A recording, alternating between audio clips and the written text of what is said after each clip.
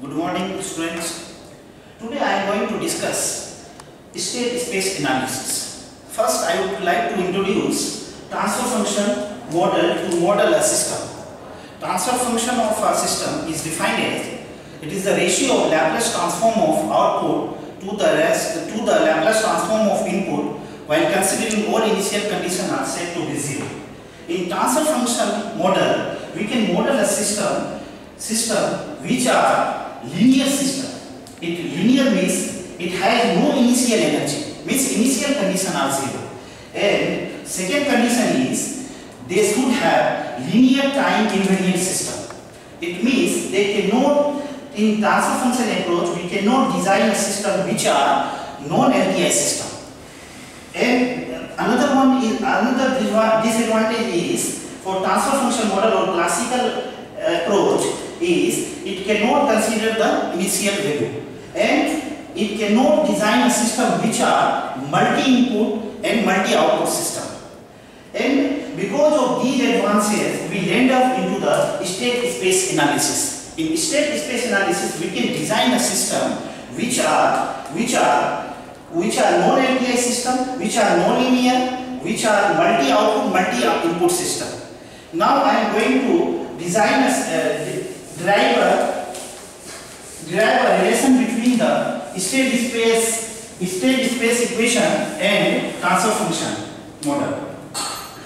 I am going to write down the two equation state equation and output equation.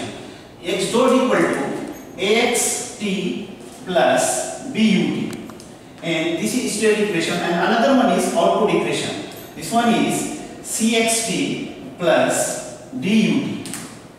These are the two state equations used in the state space analysis to design a system which are non-linear or linear or having initial energy or multi-output, multi-input, multi-output system. In this case, I am going to take the Laplace transform on both sides in both equations. So, this one is by taking Laplace transform we have s into s minus x of 0 equal to ax x of s plus b ux.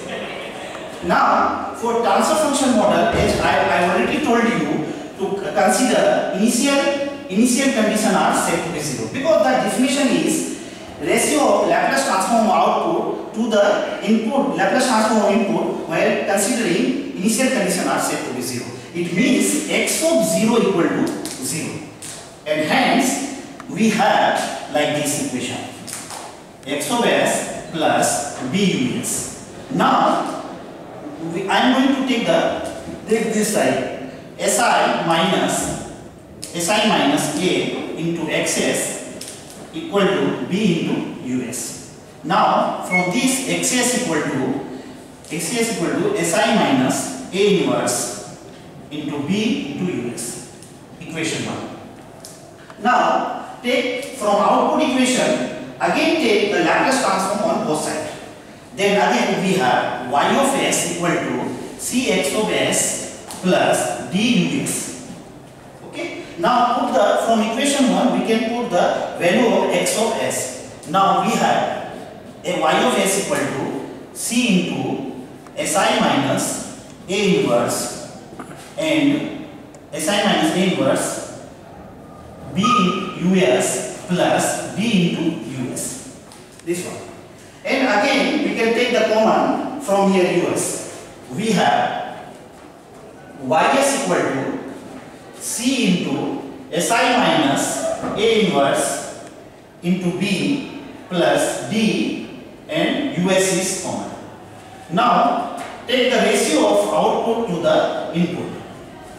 This one is c into si minus a inverse into b plus d and this is called as the transfer function. Because in state space representation we have the control system control system control system. And here is multi input multi output system. N number of input we have given. Suppose i have given the input is u1 u2 and un and control variable is or state variable x1 to xn multi variable system xn and we have the output of those input is y1, y2 and yn. And this is the representation of state space. Input is y and output is output is output is y, input is u and state variable is x. And we can say that from definition of the transfer function we can say the Laplace transform of output ys divided by Laplace transform of input while considering initial condition are 0. Then we can say that this ratio we can say the transfer function model we can derive a transfer function from a given state equation or state, state equation, we can directly calculate the transfer function of that particular system considering this condition are set to be zero. That's all for today. Thank you so much.